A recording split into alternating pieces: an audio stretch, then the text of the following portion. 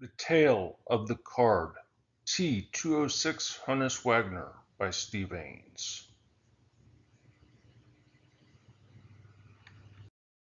The T206 Honus Wagner.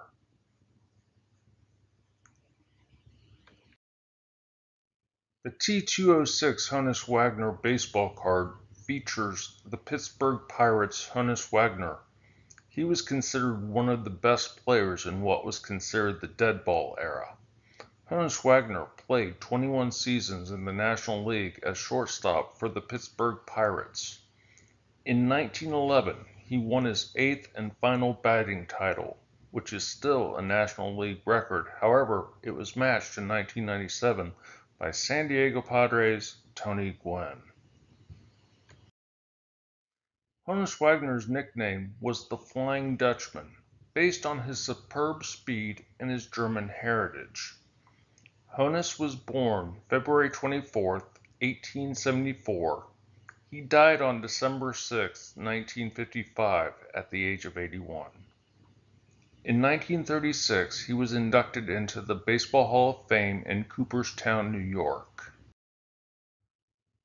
The baseball card itself was designed and produced by the American Tobacco Company between the years of 1909 and 1911 as part of its T206 series. It is said that Wagner refused to allow production and distribution of his image on a sports card in cigarette packs either because he did not want children to buy cigarette packs or he simply wanted more compensation from the American Tobacco Company. The company ended production of the card, but produced between only 50 to 200 cards. The actual amount is unknown. The T206 cards were produced tens or hundred thousands of any other player. The set was produced for three years and distributed in 16 brands of cigarettes. In 1933, it was listed at $50 in Jeff- Jefferson Burdick's The American Card Catalog, which would be equivalent to $1,000 in 2020. The most popular T206 Honus Wagner was owned by hockey great Wayne Gretzky, which he bought it with Bruce McNall in 1991 for $471,000.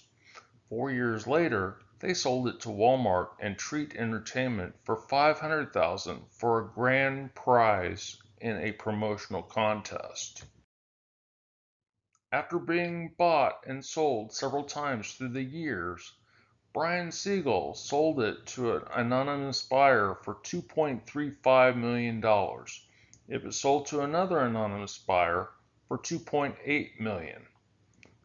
In April 2011, it was revealed that the anonymous purchaser was Ken Kendrick, the owner of the Arizona Diamondbacks.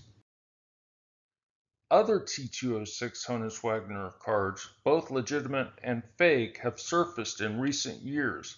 Some of the real cards have sold for hundreds of thousands of dollars in auctions. One particular T206 Honus Wagner owned by John Cobb and Ray Edwards, has attracted media attention over its authenticity.